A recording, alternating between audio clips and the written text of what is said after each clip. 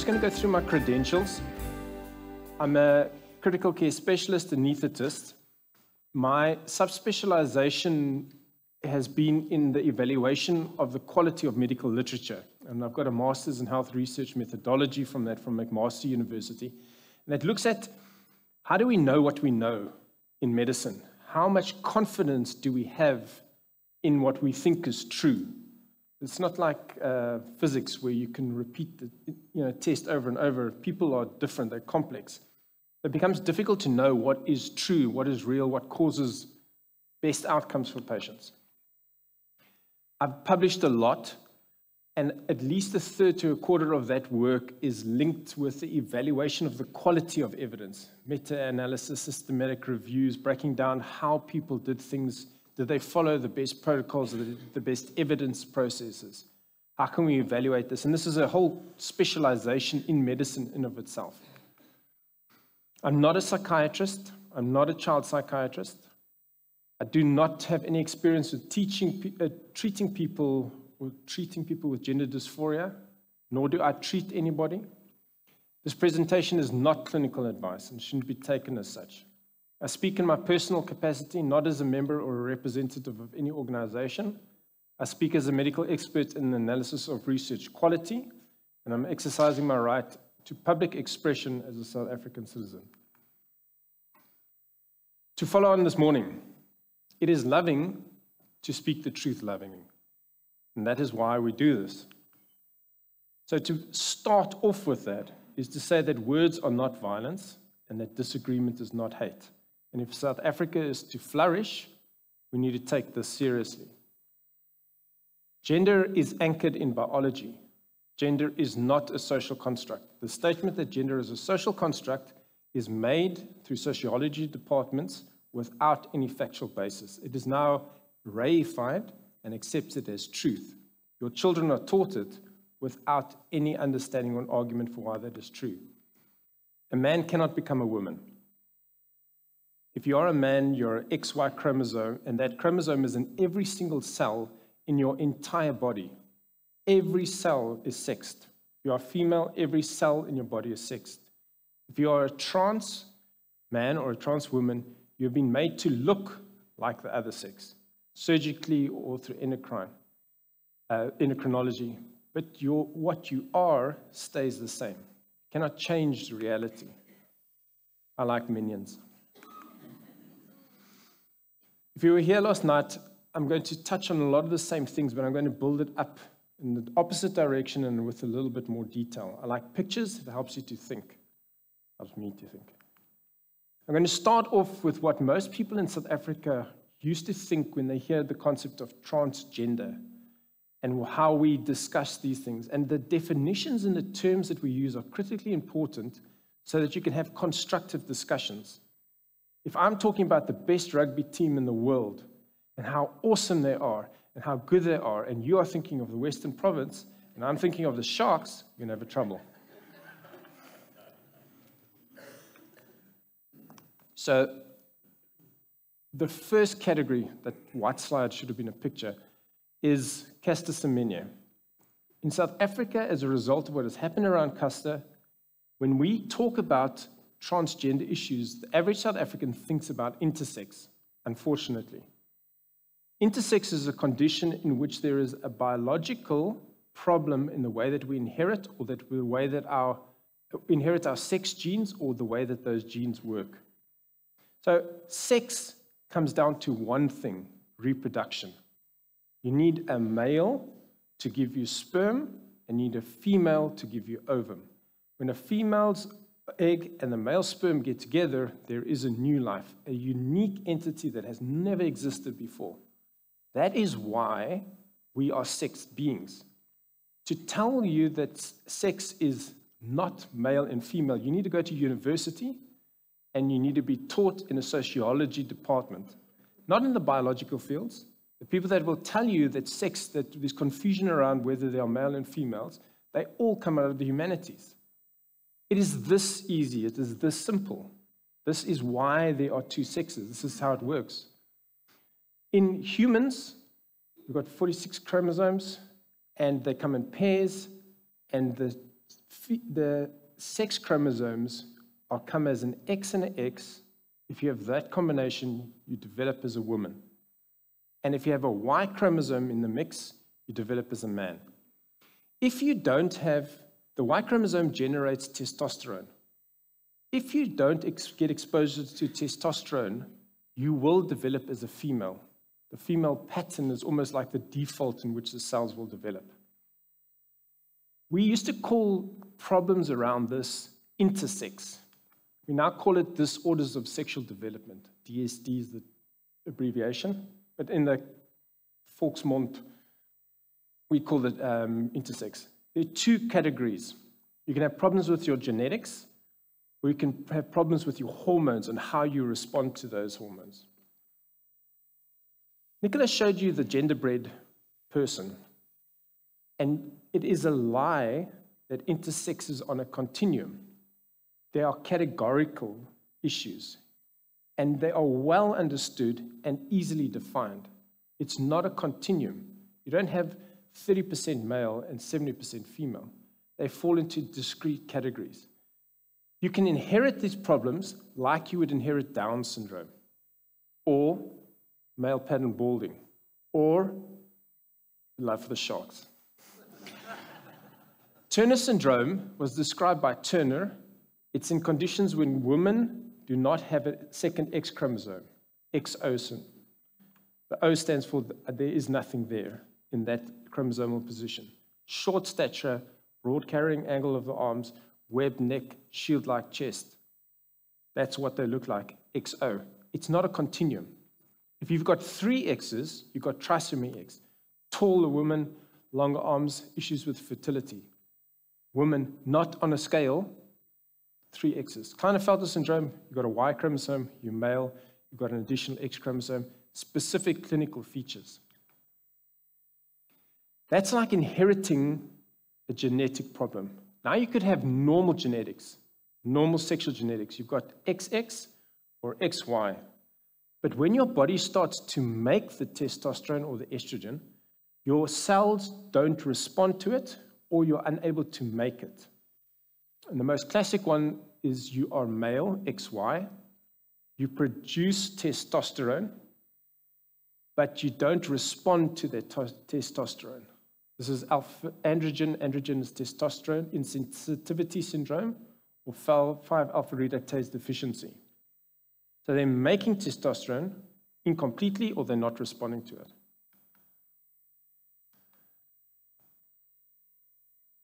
Think about this example. The reason that we know about this is that you're born XY. You've got androgen insensitivity syndrome. You've got testes, they're making testosterone, your body's not responding to it. Because you're not getting testosterone, you look like a girl when you're born. Lift you up, oh, you're a girl. You look like a girl. You're raised as a girl. You start to grow, your genetic blueprint is male. So you are designed to grow slightly taller, carry more muscle mass. The testosterone is still there, although you're responding to it impartially or incompletely when you enter into puberty, you start to grow faster than your peers.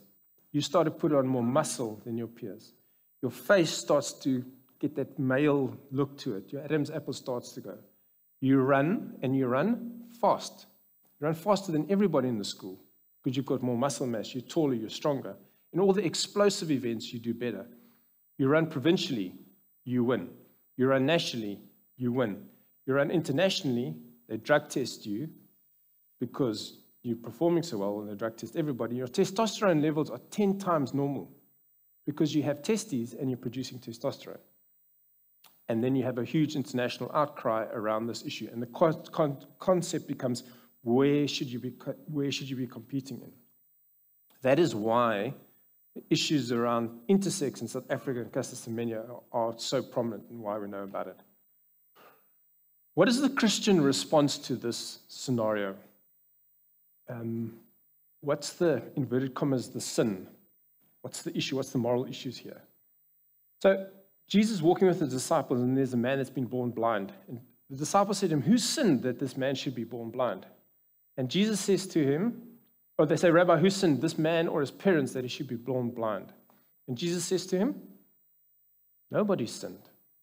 This man was born blind that God could be glorified through him.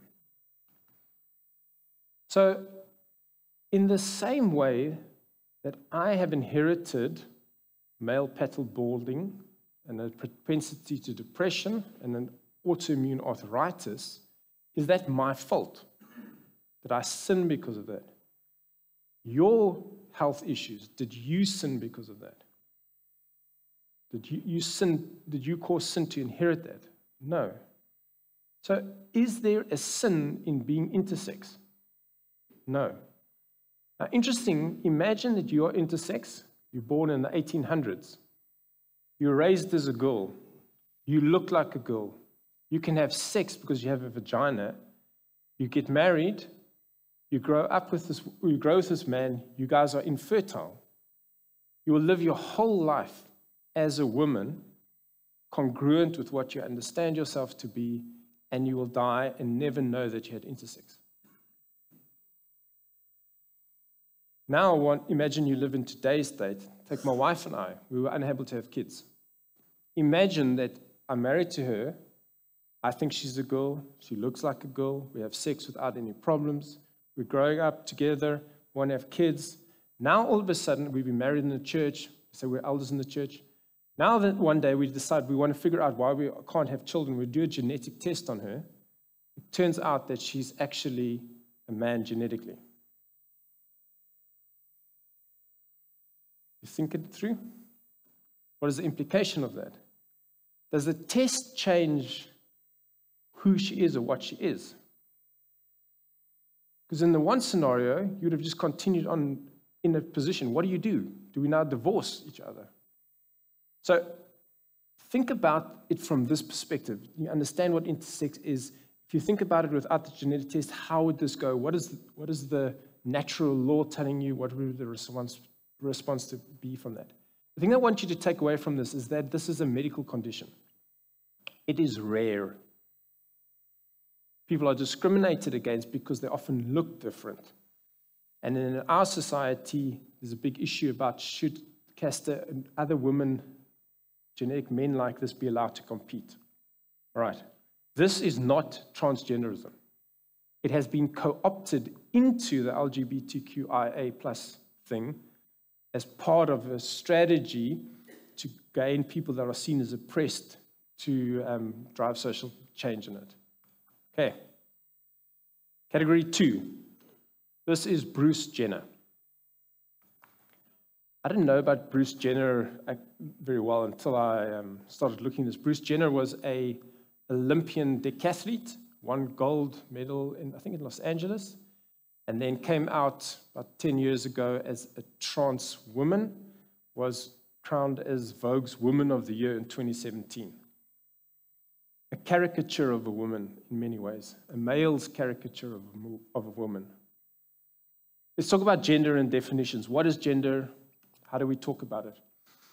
Women have feminine characteristics, and men have masculine characteristics, and they are anchored in biology. In every single culture, there is a difference between men and women in their cultural expression of who they are. Even and it's not a Western idea that has been pushed onto it. Amazonian cultures, African cultures, uh, Aboriginal cultures, every culture expresses a difference between men and women because we are different in how we are grow up, how we are influenced by our genetics. We are different. The expression of that varies in the culture. If I came today wearing a skirt, my nice uh, calves and high heels, you would feel very uncomfortable. But if I were in Scotland and I were wearing a kilt, you'd be going like, oh, that's quaint, because it is acceptable, normal masculine expression of a man to wear a kilt in that society, but not in the South African society. So the expression of your masculinity, of your femininity, is dependent on the culture, but it is anchored in a biological knowing that this expression is linked to this biology. Does it have to be stereotypical? Are you allowed to vary it? Of course you are. But when you look at a thousand men and a thousand women, you are able to abstract the thing that is feminine or the thing that is masculine. My identity is how I feel inside of me. I feel like a man. I feel like a woman. I don't know where I fit in. And then I can choose to express this gender. Knowing what the categories are around me, I then dress in a certain way to push that or to make that statement about who I am. Notice again that when I choose to express a female gender, it is because my culture is reflecting a female gender back to me. I know what it is. And so I will take on certain things and I will wear a skirt and a frilly blouse because that is what women in my culture wear. In a different culture, I might dress like a differently like a woman. Gender is not a social construct. The statement that gender is a social construct comes from particularly a woman called Judith Butler, who's written a book, quite a few books around it, and her seminal one is called Gender Trouble. And she specifically makes the argument that gender is just a social construct, because in doing so, she can break the categories of oppression of maleness and femaleness. And her main drive behind it is to be sexually free and liberal, liberated in what she wants to do. This statement stands in the CSE curriculum in South Africa. And all the kids that have gone through that curriculum believe that gender is a social construct. It is expressed differently across cultures, and the best example of, I've heard about this is like trying to separate waves from the ocean. It's just an impossible job. Not all women have all the characteristics of feminist, of feminine characteristics. Just because you don't have the frilly hair doesn't mean that you're not a woman.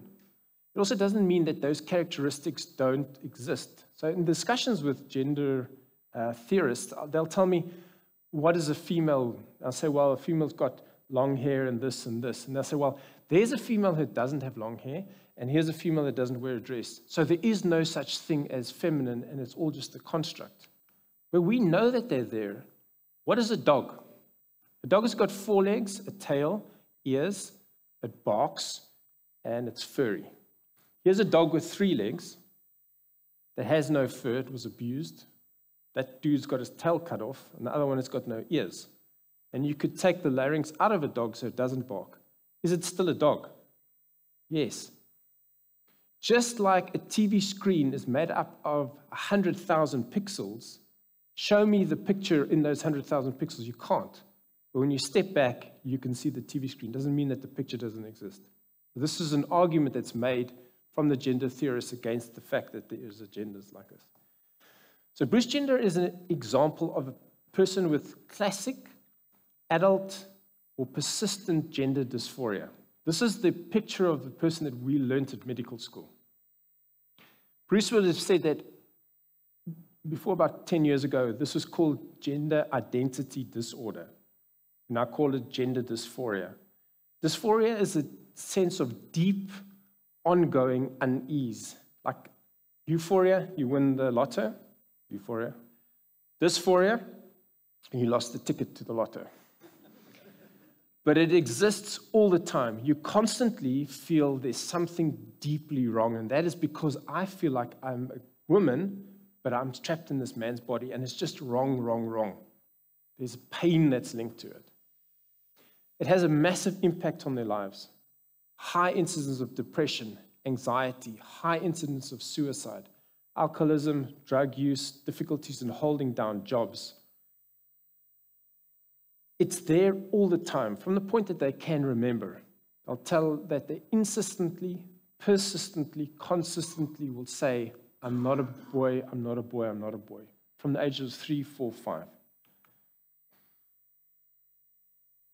All the time, not popping up later on, all the time. In the stats around gender dysphoria, we see it more common in men than in women. Men, 1 in 20,000 to 3 in 20,000. And in women, 1 in 50,000 50, to 1 in 30,000. So if a high school has got 500 people in it, you're going to need at least 10 high schools, 100 high schools, to be able to identify one girl with gender dysphoria. Now, there's five girls in one high school. This is what it's been all along. This is probably slightly undercounting what the truth is because of the way that society was and people were scared to come out about it. But even if we give it a tenfold reduction, it's an incredibly rare thing. I had never seen somebody with gender dysphoria during my medical training, and most people would never see somebody with gender dysphoria. What's the history of this? These people are struggling, they are in pain. They come to the doctor, they say, My life is falling apart. I can't cope with this, what's happening inside me. Help me. I've got all this, this suicidal attempt. I don't fit in anywhere. I'm anxious. I'm depressed. Please, let's, what can I do about this? So they seek help. The guys engage in psychotherapy and talk therapy and what can we do and doesn't seem to help. So then they say to them, well, maybe you want to be a woman. Does it make you feel better when we move you so that you now start to appear woman? So I'm socially transitioned. I start calling myself by a feminine name, stereotypical feminine name normally. I dress like a woman. Do I feel a bit better now? Okay, I do. Well, let's make you look a little bit more like a woman. So we give you surgery and hormones to transition you, give breast implants, remove your penis, get estrogen injections. And now, does that make you feel better? The studies, long term studies that come out of Sweden particularly, show that it doesn't. For the first three to seven years, there's a period in which the people feel a improvement of their anxiety levels. It's got a lot to do with the fact that there is now something being done about the problem. A lot of attention in a program, people are working around it, there's a community around it. But by seven to 10 years and going on to 15 years, the same incidences of suicide, same incidences of depression, same incidence of alcohol use, loss of job issues. It's a very disappointing outcome. So the theory was then well, if I, in my current build, height, and facial features, start to ingest, inject estrogen and wear female clothes, and you look at me, immediately know I'm a man dressing as a woman. So, what the Dutch did in the, one of their gender clinics is they said, let's try and transition these children before they go into the main phase of puberty so that I will never get my height and my width and my Adam's apple and the firmness in my face. And give me my testro- give me puberty blockers, then give me cross-sex hormones and give me surgery so that I can socially pass as a girl. And I've spoken with transgender uh, women who have, I spoke to her and I thought she's a woman, and then in the discussion said, well, I'm actually a man. So the transition is getting successful to the point by doing this that they can pass socially. The Dutch study that pioneered this was based on, I'm not exactly sure, between 50 and 70 children. There's 50 and 70 children that are driving the whole, initiated this whole discussion of the entire world around this. There are more studies that have been done on top of this now. In perioperative medicine, there's about 15 million operations a year, we consider it. I consider a big study, somewhere between five to 10,000 people before I can make an educated discussion or dis, discernment around whether something works or not. And that's whether somebody dies or lives within 30 days to 90 days. What we're doing here is embarking on a generational or multi year thing we're taking interventions here that are going to persist for the next 40 years and asking, does this improve people's outcomes? This approach is called the Dutch protocol and it has been incorporated into what's called the WPATH guidelines. There are often international organizations that come together and put out standards of care. But standards of care statements are very carefully designed and laid out. And they are backed up by evidence statements and levels of evidence. This is how much we know about this. This is what it thinks. The WPATH group is a voluntary group of associated professionals and interested people that have come together. These are not standards of care. These are guidelines, and they've been critiqued quite aggressively by people who feel that a lot of this is being driven ideologically. So, before you go into your first, second stage of puberty, so you start to develop breast or your genitalia start to enlarge, puberty blockers, then at around 16 cross sex hormones, and then around 18 surgery. What is your response to a person that is struggling with gender dysphoria? What is a Christian response to someone with gender dysphoria? I want to point you to the man who was born blind. Who sinned that he should be struggling with gender dysphoria? Who sinned that I should be struggling with depression? Who sinned that that person has schizophrenia? Who sinned that this person has body dysmorphic disorder, where I'm uncomfortable with my body and it just feels wrong to me? Who sinned that somebody should have gender dysphoria? Nobody. This is a cross that this person must bear. There is nothing intrinsically wrong, immoral, with the fact that they are struggling with their identity. What do trans persons who come to know Christ do? What is the testimony that we get from Christians who became Christians after they had transitioned? They all talk about finding their identity in Christ. They no longer talk of themselves as being transgendered persons or dysphoric persons. They talk about being a Christian, a follower of Jesus. They accept that their dysphoria is not their core identity. They all talk about picking up their cross and having to bear that. And we all ought to pick up our cross and bear it. Is it a same sex attraction? Is there something inherently sinful in the fact that you are attracted to somebody of the opposite sex? Or is it acting on that? Is there something wrong that I am attracted to a female that is not my wife? Or is that I lust after it and act on it? Is there something inherently wrong that I am tempted to steal? Or is it that I dwell on it and I steal? If I am attracted to children from a pedophile and I don't act on it, that's my cross to bear. I have the privilege of knowing a guy who grew up with same sex attraction to boys under the age of 16. He's a pedophile, he's a homosexual. He has come to know the Lord. He knows that the desire is immoral, that is wrong. God has given him a freedom from that. From he's married, he has kids, he witnesses around this. This is his cross to bear. These persons, this trans persons say, we are no longer just gender dysphoric. We are followers of Jesus Christ. They stop the hormone therapy and they generally don't, they return back to expressing a male or a female gender based on the biological gender, and they don't have surgery again just because of the invasiveness of the whole process. If you are a gender dysphoric Christian, what are you to do? The first thing is realize that your body is sacred.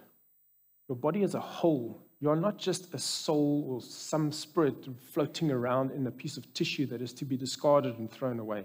Jesus Christ granted humanity worth and value by taking on flesh. He became flesh himself. What we have has been created in his image, and it is worthy to be looked after. It is not eternal in that we will get something new and a new body, but this is not something that you discard and throw away. Find your identity in Jesus Christ. You are not your burden, it is not the thing that defines you.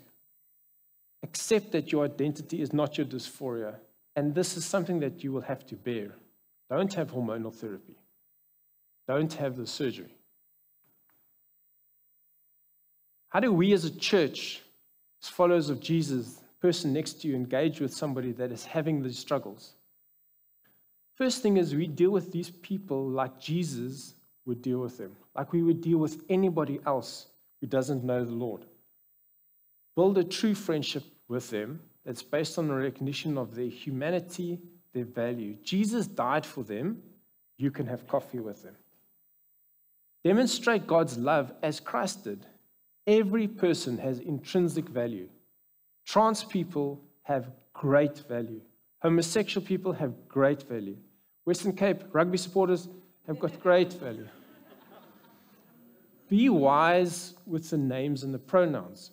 I often get this thing where people feel that if I call somebody by the wrong pronoun, in some way I'm helping them in their uh, confusion, and it's my responsibility to help them right by calling them by the name that they should be called. Well, if I introduced myself as Sam, didn't know it was Rachel, I could be a boy, I could be a girl, I could be, if you said that I used a French term, that Madeleine or something like that, how who are you to decide on my name? And when I talk with you, you never use the pronoun he, she to my face. So when you're sitting opposite somebody in a conversation, respect them. You will call them by the name that you want to, they want to be called. Are you going to say, no, I'm not going to call you John. You look like a, you know, a Sam. I'm sorry, I refuse to do that. It just doesn't work like that.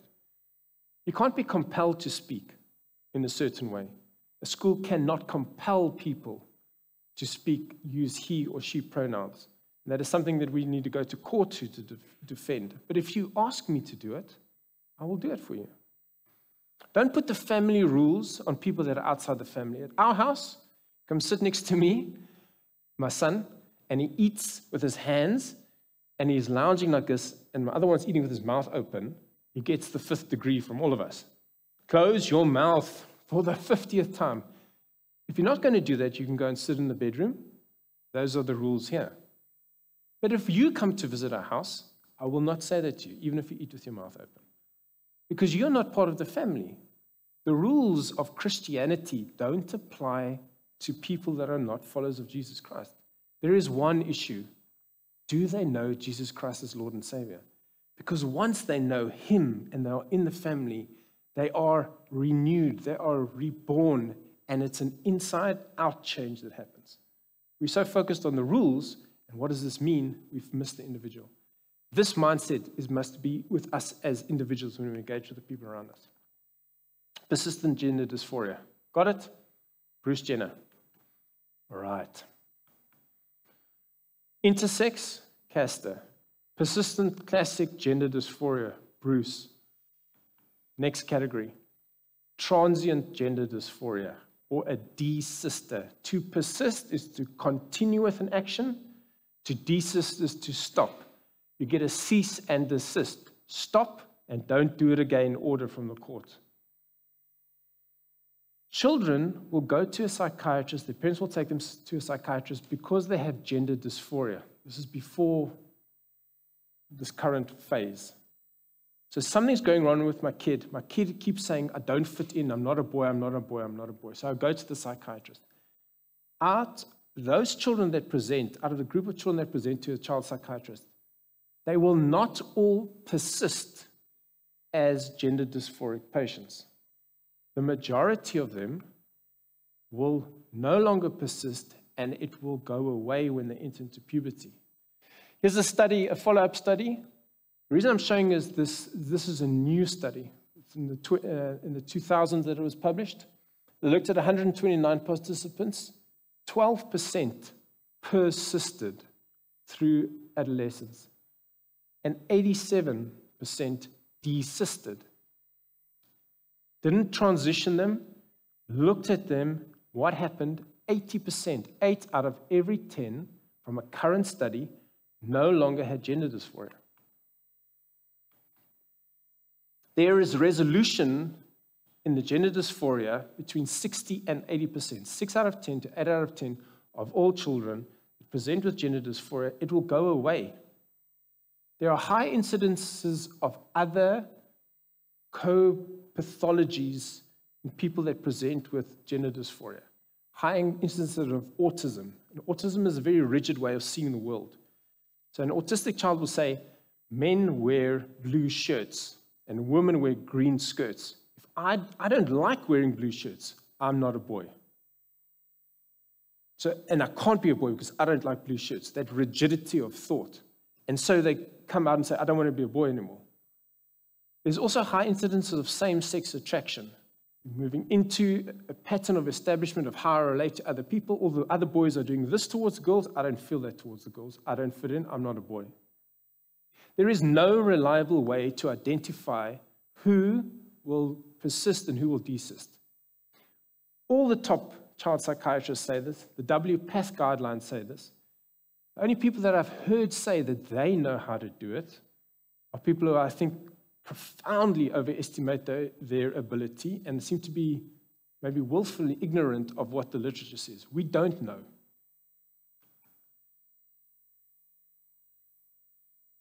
There's no tests to identify who will do this. The Dutch are these guys that have led a lot of it. This guy's called Steensma, he's one of the major researchers. Before the age of 10, we suggest the cautious attitude towards transitioning. Some girls who are almost but not entirely living as boys in the adult years ex- uh, experienced great trouble when they wanted to return to the female gender. We believe that parents and caregivers should fully realize the unpredictability of their child's psychosexual outcomes. A world expert saying, We are not sure. And somebody here says, I know there's a problem.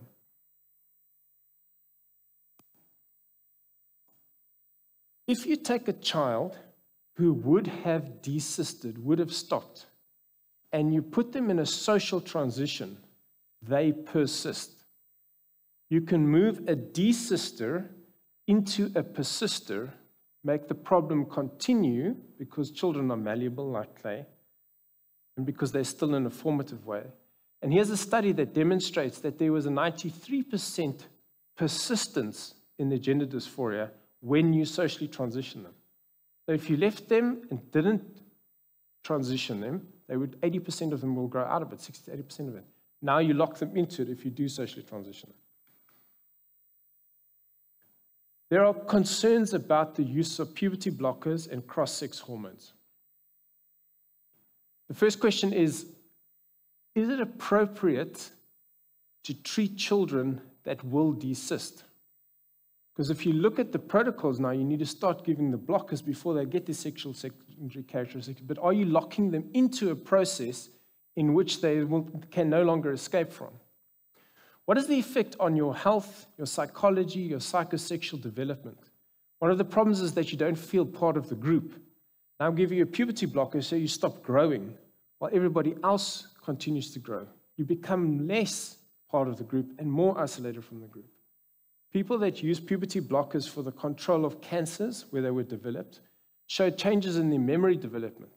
What happens to a child who's going through the peak phase of growth development when on the puberty blockers? Puberty blockers affect bone density. Start taking cross sex hormones. Now you're giving estrogen to a man or androgens to a woman. Issues with cancer, prostate cancer, uh, blood clotting, heart attacks, strokes. Once people start down this path, they are locked in. They don't stop. You don't get the detransitioning. Just as a note, every quote that I've given here comes out of the WPATH guidelines, which are considered the inverted commas standard of care. This is Rachel Levine. She's the highest transgender uh, person in the Biden government, US Sec- Assistant Secretary for Health.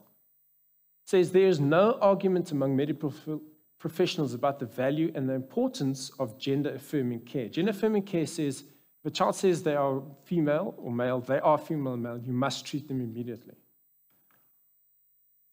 Here's Dr. Steensma, world leader in the Dutch clinic. We don't know whether the studies we have done in the past, this is talking about Bruce Jenner, can be applied to this time. Many more children are registering in a different type Suddenly, there are many, many more girls applying who felt like a boy.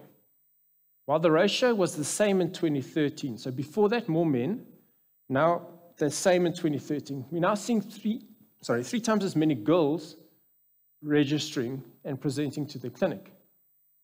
So, is the population that we studied here the same as the population that we've seen here?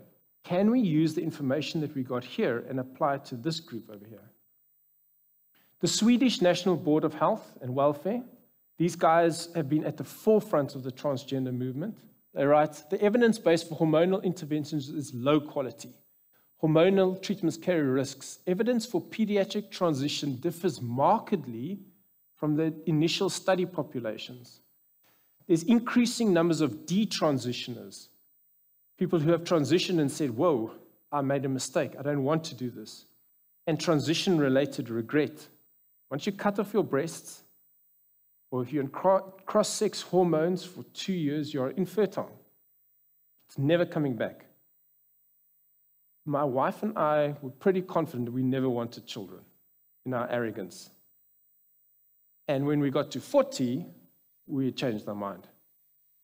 What do you do when you're 16 and you're making a choice about your long term, lifelong fertility? Transition in minors should only be done as part of a clinical trial. They pulled back in Sweden dramatically because of the concerns around this, and they said in children you can only do this as part of a clinical trial because we do not know The Finns research data is limited.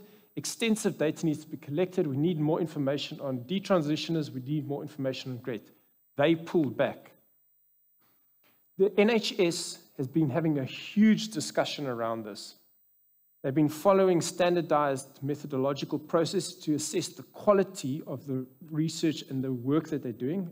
It's being run by a woman, a pediatrician called Dr. Cass. She's the head of this process. They published two meta-analyses, which takes all the data published and tries to synthesize it into an answer. And the meta-analytic data showed that there's a lack of strong research. We can't trust it. We don't know what's going on. About two months ago, she put out a report. It says the evidence supporting gender affirmative care is inconclusive, both nationally and internationally. Longer term follow up is needed on those who desisted, especially those who experienced regret or detransitioned.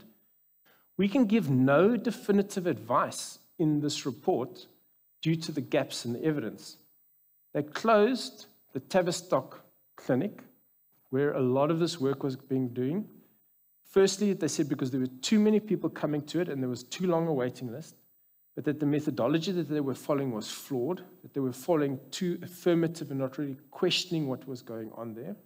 And the NHS is now facing a class action lawsuit, as reported in the Times, of potentially up to a thousand children that are suing the NHS. This has happened in Sweden and Finland. This is the French National Academy of Medicine. Great medical caution must be taken given the vulnerability and the many undesirable effects and even serious complications. Great caution is needed. There's an impact on growth, bone density, sterility, emotional, intellectual consequences, and for girls, menopause-like symptoms. The Australians and New Zealand Council uh, College of Psychiatrists, at present there is a paucity of quality evidence on the outcomes of those presenting with gender dysphoria. In particular, there's a need for better evidence in relation to outcomes for children and young children. Karolinska University, which is in Sweden, one of the forefront, no longer providing puberty blockers or drugs or cross-sex hormones to children under the age of 16, concerns about the long-term effects, questions about the ability to give informed consent under the age of 16. It can only be done in a clinical trial context. Meta-analysis from high-quality organizations that don't have a finger or a vested interest in this, weak observational studies, insufficient evidence, low uncertainty, unknown long-term side effects. Everything that I've put here is referenced, can be obtained from me. Tavistock being sued. Consequences for getting it wrong. This include allegations that it recklessly prescribed puberty blockers with harmful side effects and adopted an unquestioning affirmative approach to children identifying as transgender. It is not true that they're being sued because they didn't get access to the clinic. This is what it says in the papers by, through which they're being sued. I want to ask Ms. Levine,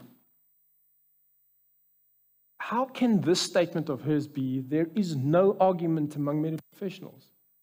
She's speaking as an individual here when the national French, uh, Swedish, Finnish, UK, Australian, New Zealand guys are saying, stop. If you hear the statement that there is no debate about it, it's just absolutely not true. How do we respond, not as individuals now, as a community, as South Africans? We need to protect children. Yes, the people that are driving the idea that we must affirmatively treat children with gender dysphoria particularly thinking in a persistent gender dysphoria context, feel that they are doing the best for the child because they are trying to help the child that they can have a better life. But the principle in medicine is first do no harm. Let it be until you know that what you're going to do isn't worse than what's going to happen. The research that we've done in the past around the use of beta blockers, drugs that slow your heart rate around surgery, we made a massive mistake in it. We followed data from a small trial, this is internationally. Trial showed that beta blockers helped. It became standard of care in the US. Your hospital was fined if you didn't use a beta blocker. We did a big study, I was part of it, 8,000 patients, showed that beta blockers reduced heart attacks after surgery, but you got more strokes because your heart wasn't beating as fast, and more people died, and people had debilitating neurological strokes. So you were alive, but you couldn't walk. We reckon that we killed between 40 and 80,000 people in Europe as a result of following this care. That's why medicine's rule is first do no harm. And first do no harm is multiplied so much more when you talk about children. A rational approach around this is watch and wait. Watching and waiting doesn't mean you do nothing for the child. The child is not just a gender dysphoric, the child is a child in an environment with stresses, with family, with biological issues. The child must be treated and integrated as a whole. And this is the approach that the Dutch have followed. But the rest of the world seems to have ignored this component of it. And the Dutch have said that the world must stop blindly following the protocols because they're not following them appropriately. Transition, I believe, should be done in the context of a clinical trial in South Africa. And we need to engage again with the individuals as Jesus would. Both those with gender dysphoria and those who are transitioning children. They're not the enemy. The enemy is not that person that God created. The enemy is the enemy. And we are here to represent Jesus to them and be ambassadors to them. Trans and gender dysphorics. Last category. This is the one that's causing all of the pain at the moment in the schools. Rapid onset gender dysphoria. This terminology that I've used here is highly contested. This is a new phenomenon never seen before. In adolescent girls, predominantly between the ages of 14 and 18. It happens in clusters of girls, female to male. So it's a group of girls, three or four of them, that decided that they are now transgender and they want to be men. No prior history of gender dysphoria. Doesn't fulfill the criteria as we've seen in persistent, the classic gender dysphoria. It's something new. It has the features of a craze. It breaks out in small groups often one or two that become transgender. Around them become a group of non binary children, and one or two that are same sex attracted. It, is a, it will often be in schools, in social clubs, or groups online. It is a high social value action. You go, I don't know how really cool and suave you guys felt when you were going through puberty, you know? You like arms and legs and hair and bump, and you don't know where you are. And if you're in the bottom of the social ladder, you don't fit in anywhere, and you now say that you're trans, you move to the top of the pile.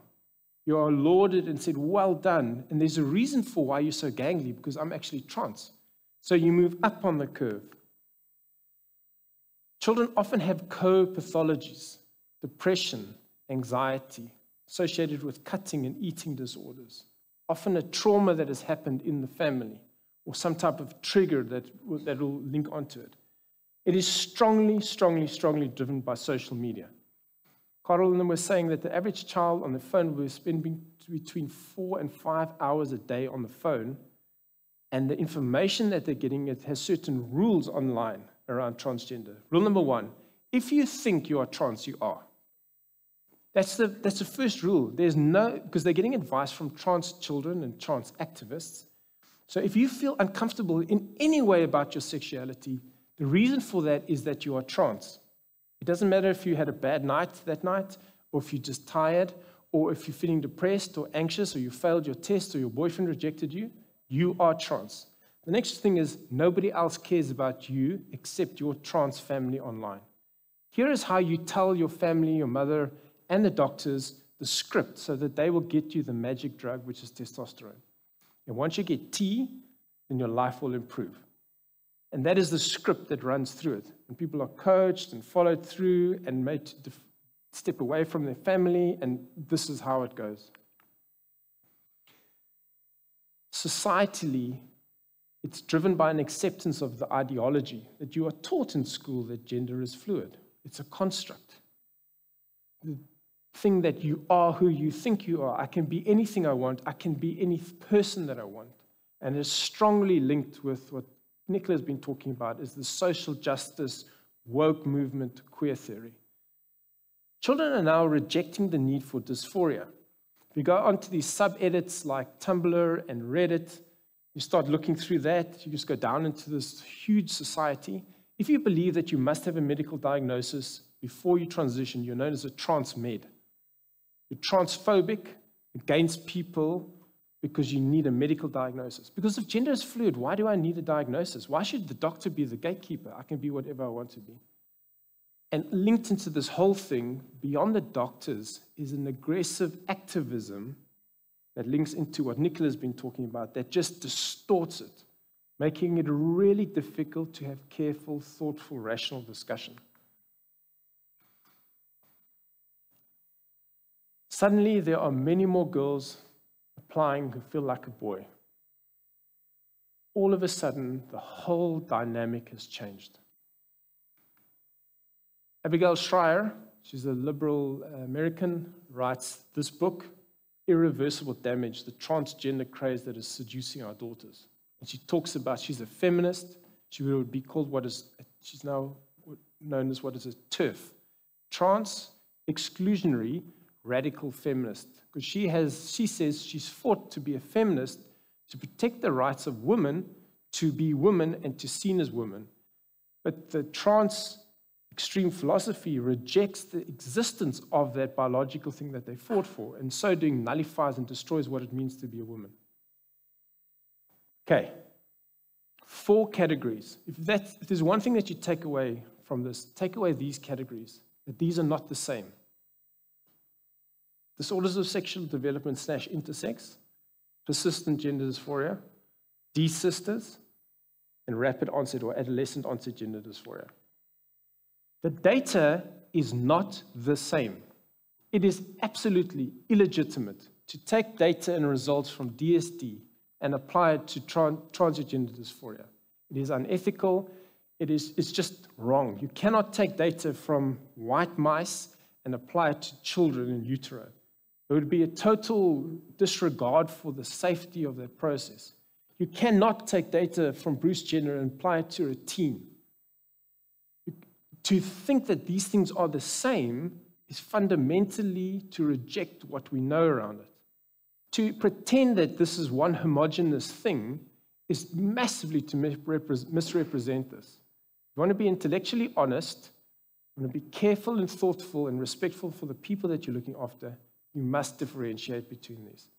And again, the takeaway for you as you talk about this and try to think about it, think about the difference in these categories If you're a teen and you're feeling unsure about your identity, that does not make you transgender. Just because I'm not sure who I am today doesn't mean that you are gender dysphoric. It is a normal part of growing up. I don't know some days, you know, which was left or right. A girl rejects you, you know, what do you do? It'll be so much easier. Somebody whistles at you or tries to feel you up and you're a girl and you feel vulnerable and I don't want to be a girl because I'm being attacked or intimidated and so it's easier for me to boy. That doesn't make you gender dysphoric. There are many other factors that can be present as gender dysphoria in children. Those that are same-sex attracted, those that have depression, anxiety, acute loss, if there's abuse, um, children on the autism spectrum. And then hidden in there there are children that have got gender dysphoria.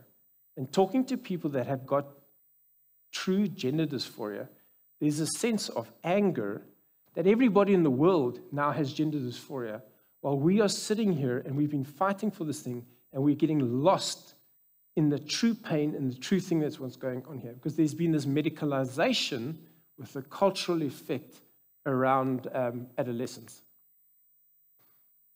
So I want to step back for a second. I've talked to you about the medical stuff. There's a philosophy that underpins it. So we're moving on to philosophy. Your worldview, the way that you see the world, underpins everything that you do. And what you believe is true, you act on. And those actions create a society. This is why thinking about stuff and knowing what is true is so important. It's what Nicola has been talking about. We build a society on what we believe is true. The philosophy of transgenderism says that gender is socially constructed completely. It's just word games. It has no coupling with biological reality. Biological sex is irrelevant. If I think I'm a cat, I'm a cat. If I think I'm a dog, I'm a dog. Everybody laughs a little bit. Sounds a bit weird. If I think I'm fat, I'm fat. That's the definition of anorexia. People like this will look at themselves in the mirror and decide, I am overweight, I'm ugly, I need to lose more weight. As Carl Lim said, highest mortality rate in psychiatric disease. Is it loving for me to affirm their belief that they are fat? If I can be trans biologically, transsexual, why can't I be transracial? Why is sex so malleable, but race is absolutely inviolable? This is a white woman, uh, Rachel Dolezal, who presented, who identified as being African American. And so she presented herself to the society as African American, ran and headed up an African American group until she was outed as being white, castrated in the media, excuse the terminology, but um, totally ripped apart. How dare she? But why? What's the big issue? If I can transcend my biological sex, why can't I transcend my racial? I'm assigned to being a white male forever. I don't have to listen to that category. If I can be transsexual or transracial, why can't I be transspecies? This is Boomer, the dog. Guy identifies as a dog, wears that costume at home, drinks and eats out of a bowl. It's called Boomer. What about a cat? What about mythical creatures like dragons? I can be whatever I want to be. Why can't I be these?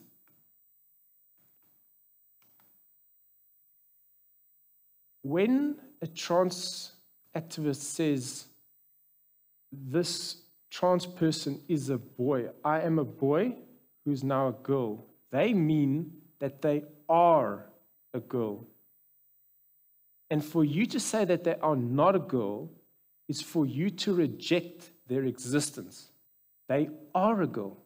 And you are hateful and you are bigoted and you are uh, transphobic for not accepting the fact that I am a girl. And when I am a boy, though I'm biological, I am a boy. The fact that I can have children and breastfeed has nothing to do with it. I am a boy. That's the philosophy. And that is why the US, you can now have birthing persons or chest feeding, or men can be raped, or men can be pregnant, because they now are this thing. You've seen this. To say what, of what is that it is not, or of what is not that it is, is false. While to say of what it is that it is, and what is not that it is not, is the truth. To assert what is real is truth. To deny what is real is falsehood. It is anchored in reality. The ultimate reality is Jesus. I am the way, the truth, and the life. True love is setting your will to consistently seek the true good of the other. It will mean saying, as I put up in the beginning, that sex cannot change. A man cannot become a woman. And it is loving for me to tell you that in love. And it is a dereliction of duty not to do that. I do not do that in judgment. I'm not standing there, but to not tell somebody, for me not to stand here and to tell people about what the evidence base is, is not loving of me.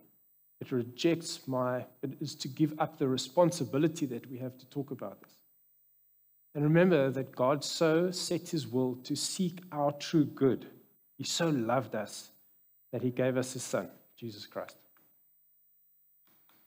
I teach at a school, and there's already a girl that falls into the category, category that you spoke about. Um, if I should get a person coming to me, a little girl or a boy, saying I have gender dysphoria, practically, what would be my first step? Do, who do I refer them to? Are they uh, an identified group of, of therapists that I can say, or, or, do I say, I need to speak to your parents? What's the generally the very first practical step that I, as an educator, then need to take? So, the first step that I would say is that you need to uh, deal with the child directly the child's coming to you with a problem, that's a huge sense of um, trust and responsibility that they put in you. You're there as a teacher, not as a parent. And so the first thing that I would be wanting to look is to make sure that the child is safe, and be thinking, why is this coming to me? So you wouldn't want to talk to the child and make sure that you know that you've heard them and that you um, will respect what they tell you, that they can trust you. Second point is you are the teacher at the school. The person with the authority and responsibility is their parents. And the child needs, the parents need to know what's happening. I think when we move to the point where somehow the parents are cut out of that, going down an incredibly dangerous path. And that's what we've seen happening in the US. So I think you need to talk to the child, particularly, maybe not so much now, but there's often these kids have been, there's abuse issue, particularly with young girls, or there's bullying, or there's sexual bullying that's happening. And an approach to me being objectified, and we talked about the pornography issues, is, is to, if I'm no longer the girl, I can be safe. Or if I can be a boy, I can be powerful. And so I want to take that on. So there's a lot going on there. So without a doubt, I think you need to engage with, um, with the parents. Um, in South Africa, we've got a problem around how do we deal with this? Because in many places, the only approach seems to be one of affirmation. And the loudest voices that we hear are say, if you don't affirm this child, she's going to commit suicide. Because they take data from the um, persistent gender dysphorics and apply it to these children who are rapid onset gender dysphorics. So finding Christian psychologists and psychiatrists and psychoanalytic specialists who can listen to the child, not try and convert them into something different, but listen and hear what they're saying. The complaints that the people from the Tavistock clinic had was we rushed into this thing because here's an answer, and the medical answer is the way to do it. To sit and counsel them and talk to them and listen to them and understand them and unpack it. And statistically speaking, the chances that this child has true gender dysphoria, and they had no gender dysphoria beforehand, is almost zero. So I think you need to have compassion and love for that child, but you need to also understand where your role starts and the, peer, and the schools is limited and where the, where the child goes on. Again, I want to say it is a false dichotomy that there's only two ways of dealing with this child. You will hear in all the discussions and all the attacks and stuff, it's either my way, which is affirmative treatment fully, and anything else is conversion therapy. That's not true. Have a look at what the, US, the Australians and the New Zealanders say. Look at a, lot of people saying we need to talk about this child. The child is not just a gender. They need to understand what's going on in their own life. They just need to talk with somebody listening. So, yeah, that would be my approach. There's also a role for Christian psychiatrists and psychologists, and not even Christian psychiatrists and psychologists, but for Christian psychiatrists and psychologists who believe that this is a broader issue to come together and form a, uh, integrated response that is not necessarily affirmative. I found quite a good rapport with some trans people and trans counselors that are saying what these guys are doing is wrong here. It's too extreme. And then also on the church side is saying, no, we don't do anything with this. They must just come right and we're going to pray them right. Between this, there's a true balance, a thoughtful, loving, careful balance. And there's room in South Africa for us to develop a coalition across that group where we can respond to it.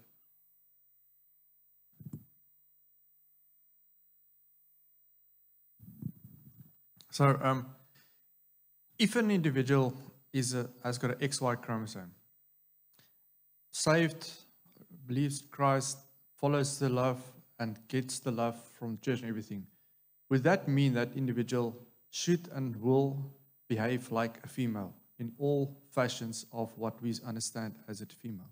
So XY is male. Oh, sorry, I got it wrong right around. Yeah. Okay. okay. So XX, right then. Let's talk about XX. I mean, uh, if, if, genetically that the, the gene says that person is a female, and everything else that you said about religion and, and, and getting, getting saved and everything, those, those things are being done. That person should and would behave like a female. No. And if not, where do we then accept or not accept? So we always accept. So, so the issue is that they are a woman. That's what they are. How do women behave? On average, I can identify how women behave. But some women behave very differently from men. Women generally caricature warm, nurturing, loving, want children. There are some women who don't want children at all and never will want children. They exist. She's not less woman. So the behavior of the woman, but she's not saying, I want to be a man.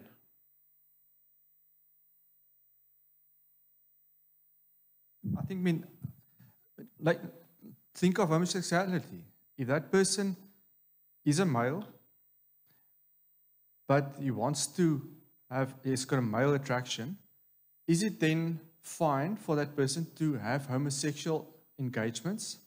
Or should he, through the blood of Christ, still focus on female attractions? Or, I mean, where, where do we do that level of acceptance, I mean, or, or, or yeah, approval or stuff like that? Because Okay, so, so one of the problems that I come across a lot in this discussion is that transse- transsexuality or transgender issues is not homosexuality or same sex attraction.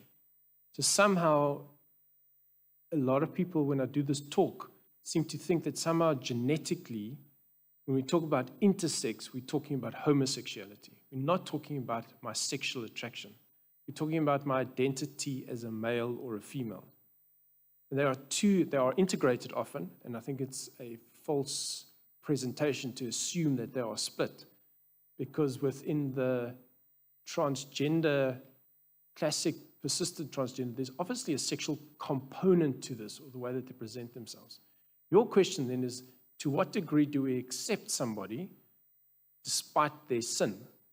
That what you were asking. Because if I'm a man, and according to Christian teaching, I may not engage with sex with another man, that is wrong. Well, that's wrong. Do I condemn you? Do I hate you? No. Do I let you into my church and come and worship with us? Yes. You say that you're a Christian and you are engaging in an ongoing homosexual behavior, and I need to talk to you and say, You're not living consistently with what Christ teaches us.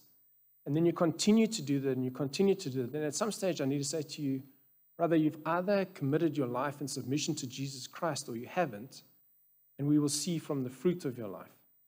So I accept you, accept your person, your value in Jesus Christ, your createdness. But the fact that you continue to sin in that behavior, that's a problem, and I don't accept that. So the homosexual friends that I have say, I have same sex attraction. I'm attracted to other men. I, as Reitze, am attracted to pretty women. I do not engage in sex with them. They do not engage in sex with men that they are attracted to. They are same sex attracted. They do not act on the sexual. So we turn sexual things into something, inverted commas, special. So the way to think through this stuff is just make it another sin. I really like those crutches. So I'm going to steal those crutches because I want them. I'm attracted to the crutches. There's a desire. I'm tempted.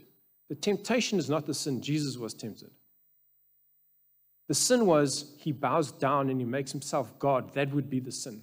When I decide that I set the rules is where I sin. So there are um, quite a few pastors that have written books around this. Allberry, what's his first name?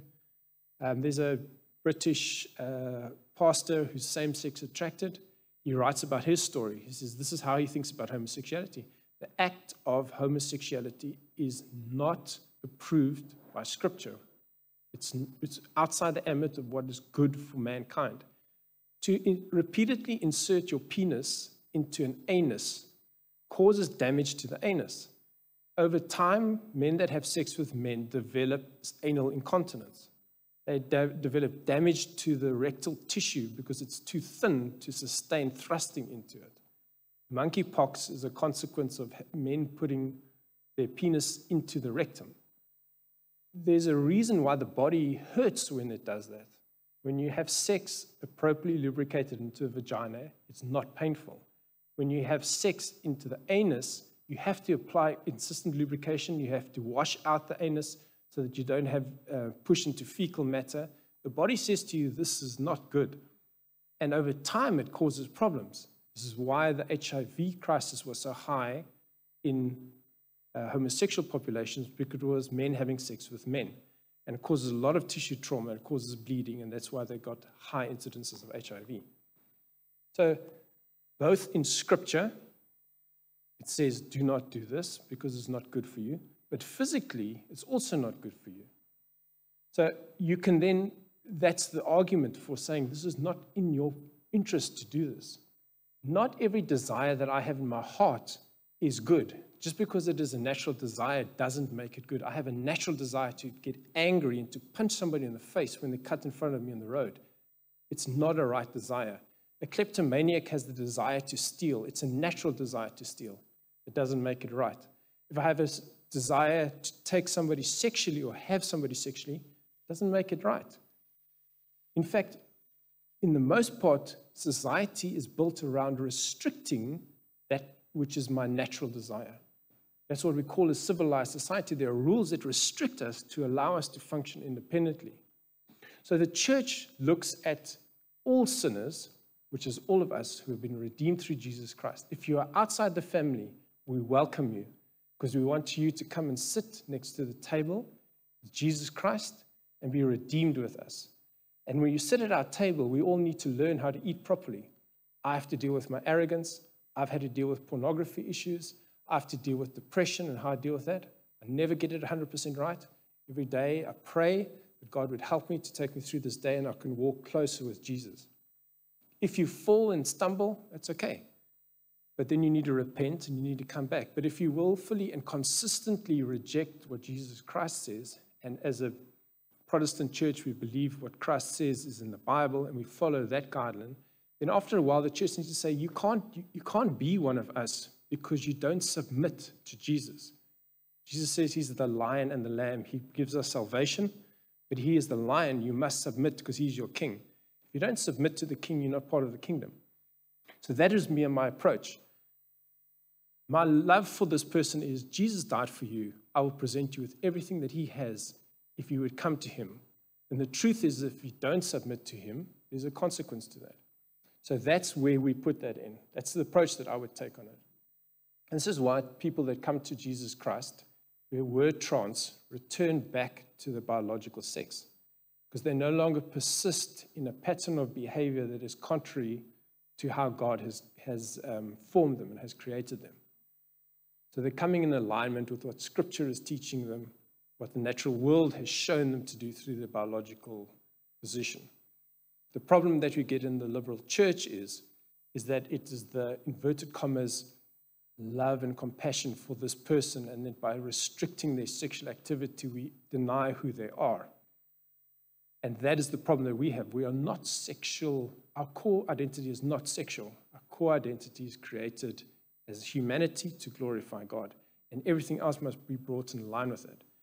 So, this thing that I've said now, when viewed by um, activists, will incense them, and viewed by uh, liberal Christians will incense them. But it's part of the belief of Christianity, and this is why we will face persecution. Because whether I like it or not, this is what Jesus said. It would be a lot easier if it wasn't like that. You know, then I could just go on with my life. But if I say that I believe the king and the king says this, well, then I need to stand. And also, it's not healthy for you to do this. It causes damage to your body. So, why would I encourage you? Do I now let you continue to do what you want to do because it makes you feel emotionally okay, but it's causing physical damage to your body? It just doesn't make sense. So, that's where the line is. Again, it's there's truth, but it needs to be dealt in with, with love and compassion and respect.